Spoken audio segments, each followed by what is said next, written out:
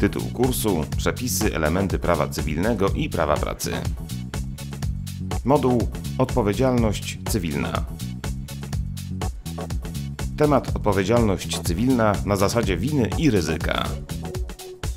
Oprócz stałych przesłanek istnienia odpowiedzialności cywilnej, to jest szkody, zdarzenia i związku przyczynowo-skutkowego między szkodą a zdarzeniem, kodeks cywilny przewiduje dodatkowo przesłanki zmienne, które przesądzają o rodzaju tej odpowiedzialności. Przesłankami tymi są wina, ryzyko, zasady współżycia społecznego. Co to jest odpowiedzialność cywilna na zasadzie winy? Odpowiedzialność na zasadzie winy zwana jest również odpowiedzialnością na zasadach ogólnych, gdyż jest najczęściej spotykaną formą w stosunkach zobowiązaniowych.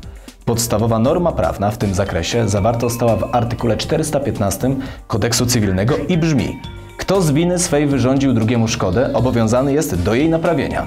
Ale czym właściwie jest wina?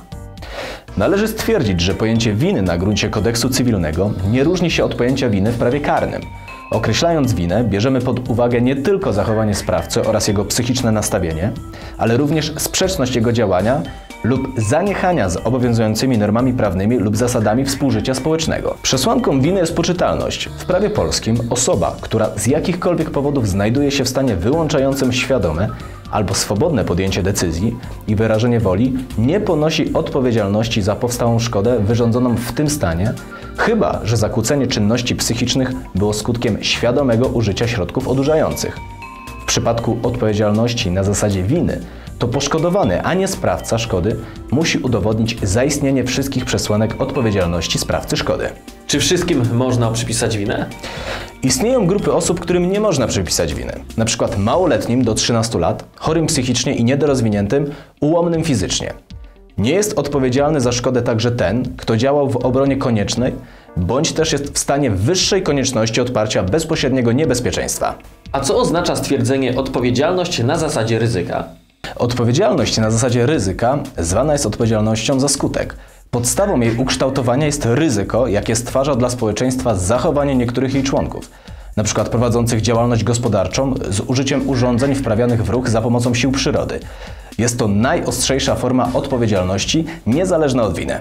Można zauważyć, że we współczesnym prawie cywilnym nabiera ona coraz większego znaczenia, ponieważ w niektórych przypadkach zasada winy może okazać się niewystarczająca dla ochrony poszkodowanego.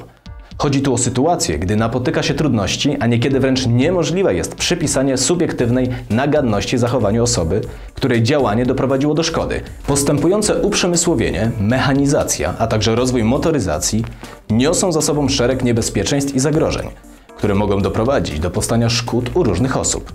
Jeżeli w każdym przypadku poszkodowany musiałby wykazywać winę podmiotu posługującego się danym urządzeniem mechanicznym, środkiem komunikacji, czy prowadzącemu przedsiębiorstwo wprawiane w ruch za pomocą sił przyrody, odpowiedzialnemu za wyrządzenie szkody, to pozostawiłoby go to praktycznie bez możliwości rekompensaty takich szkód.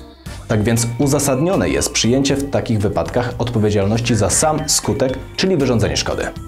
Czy w związku z tym ktokolwiek ma obowiązek udowodnienia winy? W odpowiedzialności na tej zasadzie poszkodowany musi udowodnić fakt poniesienia szkody.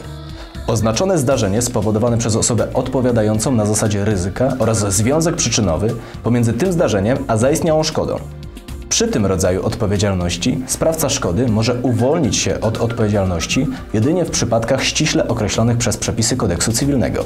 Okoliczności te zwane są okolicznościami egzoneracyjnymi. Są to wyłączna wina poszkodowanego, wyłączna wina osoby trzeciej, za którą sprawca szkody nie ponosi odpowiedzialności, nie podlegającej nadzorowi i kontroli osoby ponoszącej odpowiedzialność na zasadzie ryzyka, a której działaniu nie można było zapobiec.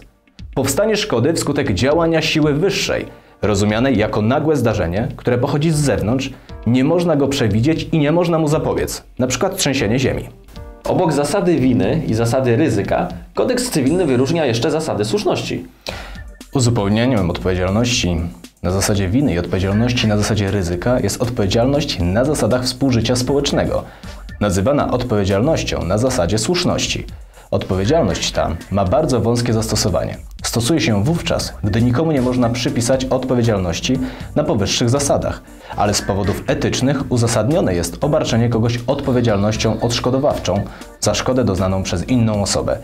Generalnie odpowiedzialność ta ma zastosowanie w sytuacjach, gdy sprawca szkody wprawdzie nie ponosi odpowiedzialności za wyrządzoną szkodę, jednakże okoliczności zdarzenia, a zwłaszcza porównanie stanu majątku sprawcy szkody i poszkodowanego, przemawiają za przyznaniem mu odszkodowania. Z tych przyczyn można domagać się odszkodowania za szkodę wyrządzoną przez małoletniego, osobę niepoczytalną, zwierzęta oraz funkcjonariusza państwowego. Materiał został opracowany w ramach projektu Model systemu wdrażania i upowszechniania kształcenia na odległość w uczeniu się przez całe życie, współfinansowanego przez Unię Europejską w ramach Europejskiego Funduszu Społecznego.